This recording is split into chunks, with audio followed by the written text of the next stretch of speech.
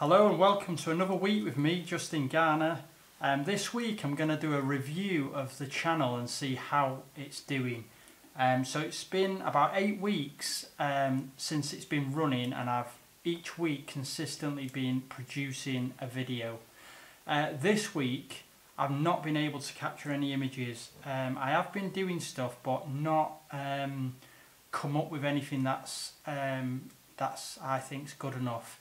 Uh, some of the things that I have done, I've been out in the Peak District looking for uh, landscapes uh, using the heather, which is uh, in full bloom at the moment, but not found any good compositions, and also the weather's not been great. Another thing that I've been trying to do is try to take pictures of the Himalayan balsam uh, that's flowering at the moment and do macro shots of that. But again, the weather's hampered my efforts. It's been really wet, it's been really windy, and not like August, but that's how things are these days. You can't uh, have um, good weather in the summer, or you can't really predict the weather these days. So, anyway, so we're going to just review some of the things that I've been doing over the last few weeks and looking at some of the positive things that I've enjoyed and some of the challenges that I've faced.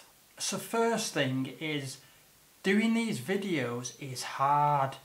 Um, it's challenging as well. So you think that, so what I try and do is I'm trying to record or explain how I go about taking pictures and then when you're trying to film yourself on your own, try to do that, it takes a lot of brain power. So you're thinking of nailing the shot that you're trying to get, but also try to think of an interesting way of telling the story of how you've produced that image. Um, looking at the setups, looking at all of that. And then you have other things that come in like lighting. So I've got a big light here that's shining on me now. Microphone placement, where do you put the mic? So it's been a, a big challenge for me and there has been a few videos that I've looked at and I thought the lighting could massively improve there and also the sound was pretty rubbish on some of it or sometimes the mic would move away or come closer as I'm moving around and it's all things that you have to learn and um, develop as you go. Now when I first started out on this um, understanding how to um, produce content in videos, um, one person or one video that I watched said that you're never ever going to be ready. You think, oh, you want to be at a certain standard before you start producing these videos, um, but you're not going to be at that standard. And the best way to do it is to start producing the videos and learn how you how you're making these videos. Um, so that's really what I've done. I've thought I'm gonna start the channel, and at the start, the image, the the videos are not going to be amazing and I'll learn as I go. Um, but yeah, it has had some challenges. Um, I feel like uh, some of the things that I need to do, yeah, I need to invest in some equipment. I feel like I need a light. I've been using, um, so I've used these, these are my Bowens lights and I just turn them onto full power and they just stay on because you need a constant light. This has been great. This, this is a, a Rotolight um, and it, you can put batteries in it um, but you can also plug it into the mains. And this has been great. This has been great for lighting myself up and also lighting some of the um, setup so this has been a, a, a really good uh, tool to use um, when I'm doing little things. And because it's so small um, you can use it in little areas. And also the great thing about it is you can turn the power up and down and also you can change the colour how warm the white balance kind of is. So massively pleased with that. So that's been great for the lighting. But I do feel like I need another light, a light that's uh, maybe an LED. This kicks out a lot of heat, so I get really hot when I'm in front of the camera uh, doing this kind of thing. Um, so yeah, so I need to get a new light. I probably need to get a mic as well. The mic I've got, which is just above me here off camera, um, is an old Sony mic and it does do the job but the quality is not amazing and I feel like I need to get a designated um, a designated uh, microphone. The thing is with the lockdown and the way things are, funds haven't been uh, great and work's not been amazing. So being able to purchase things like that um, has not has not been the best time really. So you make do with what you've got, and also I feel like you get creative with the things that you have. So you have resources around you, and you think, what can I use to um, to get the results I need? And you have to just be creative with what you've got. Another thing is this has been this is cameras now. So I use three different cameras. I use this GoPro and I've got this GoPro on um, on this kind of selfie stick which turns into a tr tripod as well which is brilliant. Uh, and I've been using this. This has been really good for when I'm out in the field and I'm walking around. The image stabilizer on this this is a, a GoPro um, Hero 7 Black. And the image stabilization on this is brilliant. Um, so any knocks and wobbles, it just stabilizes it really well. I did a um, one of my videos was in Scotland, and I had this out of the um, out the sunroof of the car whilst my partner was driving, whilst we were driving down this really nice road, and I got footage uh, with this stuck on the on this uh, selfie stick, um, stuck out of the um, sunroof. Uh, and I got amazing footage and I was really impressed with how still it was as well. Um, the microphone on this is okay, it's not too bad, but sometimes it's just easy for me to use this to be able to show what I'm doing because um, it's very difficult when you're doing these videos when you're pointing the camera at yourself um, and you can't move that camera, especially when you're using the big DSLRs. Um, and whilst we're speaking about the DSLRs, I have um, two different cameras and this this is another problem for people making film when they're making films about their photography because straight away you need two cameras. You need the camera to show what you're doing taking the photograph and also you need cameras to film what you're doing. So it's not like you need one camera just to film everything you're doing today if you made watches or something like that. Um, so it's a challenge in itself because you've got kind of two setups to think about. So I have two cameras. Um, I have a Canon 5D Mark III, which I use for doing all the stills, and I also use for doing like the interview things like this now, because um, the quality of that's quite good. The negative is the screen doesn't come out. Um, so I have another camera, I have a 60D, and the screen does come out on that camera, um, and I use that for like doing um, it's easy to film yourself because you can see yourself through the screen bending out. So that's a massive plus and I feel like when you're doing video you do need a screen that does come out. It's a massive help.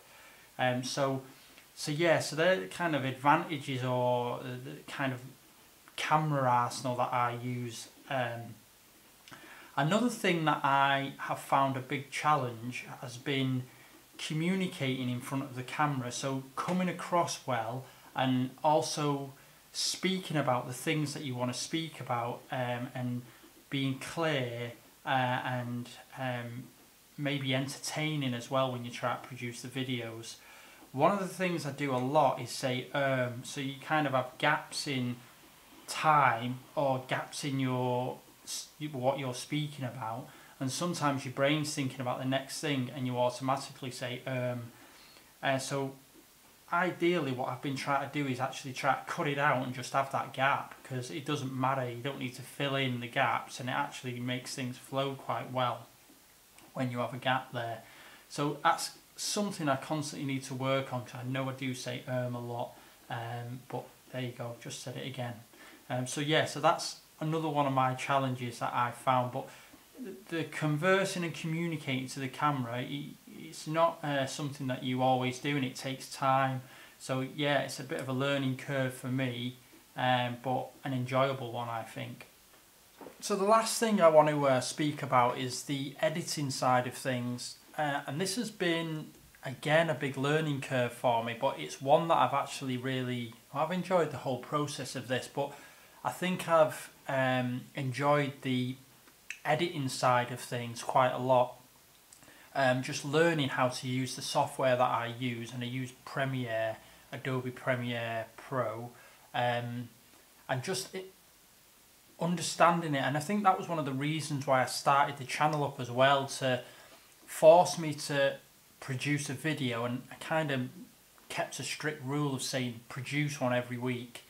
Um, so yeah, so that's kind of me trying to understand this kind of art form or this this way of telling stories and things like that, but also learning that software and learning the program. Um, and I've read um, recently read a book um, by Mal by Malcolm Gladwell, and it's about um, people who are masters and being a master of something or being top of your game, the only way you get top of your game is if you do things over and over and over again. Uh, and in that book, um, it speaks about people like pianists and things like that. And uh, if a pianist starts when they're 12 and they practice every single day uh, for hours, say six hours a day, then by the time they're uh, maybe going to university, their their knowledge and skill is that advanced because they've put the hours in, and put the time in. So I kind of relate that to doing this.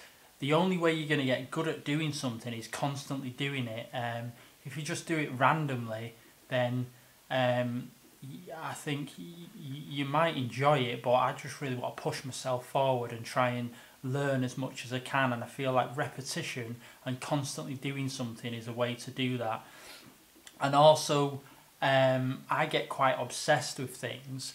Uh, I'm very obsessed with my photography, uh, and this is kind of uh, kind of another avenue that I've gone down.